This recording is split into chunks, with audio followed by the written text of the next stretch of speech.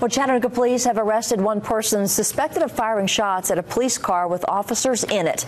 Police say Jeffrey Frederic failed to stop for officers on New York Avenue last night. He then pointed a firearm out of the driver's side window and fired two gunshots toward the police car. That's according to officers. The officers did not return fire. Uh, when a criminal behaves like this and shoots at anybody in our community, including my police officers, it offends me it offends this department, and it offends our community.